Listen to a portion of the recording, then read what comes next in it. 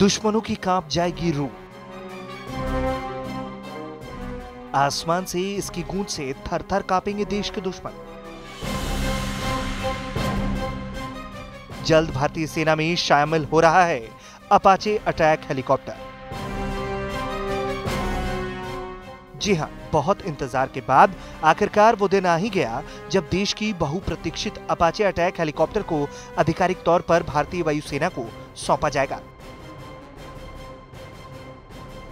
Apache helicopter की पहली खेप 3 सितंबर को पठानकोट एयरबेस पर भारतीय वायुसेना का हिस्सा बन जाएगी। ज़ाहिर है, इस हेलीकॉप्टर के भारतीय वायुसेना में शामिल हो जाने से हमारी सेना दुश्मनों को उसके घर में घुसकर मारने में सक्षम हो जाएगी।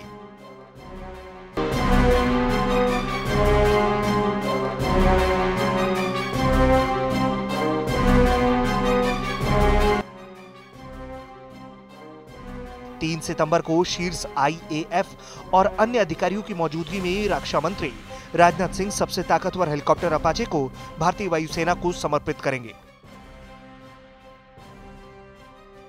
आपको बता दें कि अपाचे अटैक हेलीकॉप्टर को दुनिया की सबसे खतरनाक हेलीकॉप्टर माना जाता है, जिसका निर्माण अमेरिकी कंपनी बोइंग करती है।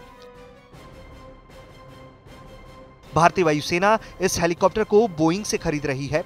इस एडवांस अपाचे हेलीकॉप्टर को भारत ने खरीदने की डील साल 2015 में की थी। भारत ने कुल 22 हेलीकॉप्टरों को खरीदने की डील की थी। ये एडवांस अपाचे अटैक हेलीकॉप्टर भारतीय सेना में अब तक उपयोग किए जा रहे तीन दशक पुराने एम आई हेलीकॉप्टर की जगह लेंगे। अपाचे हेलीकॉप्टर एक टू सीटर हेलीकॉप्टर है, जिसमें हेलीफायर और स्ट्रिंगर मिसाइलें लगी हैं।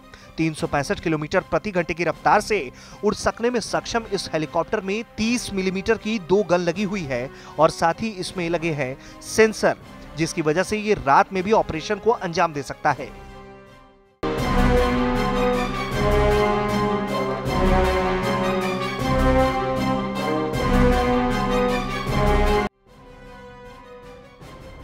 भारत चौदवा देश होगा जो अपाचे हेलीकॉप्टर का उपयोग करेगा। अपाचे के आ जाने से वायुसेना की ताकत पे इजाफा होगा। आपको बताते चले कि इसी साल फरवरी में भारतीय वायुसेना के बेड़े में अमेरिका से खरीदे गए चिंकू हेलीकॉप्टर की पहली खेप को शामिल किया जा चुका है। ब्यूरो रिपोर्ट, भारत तक।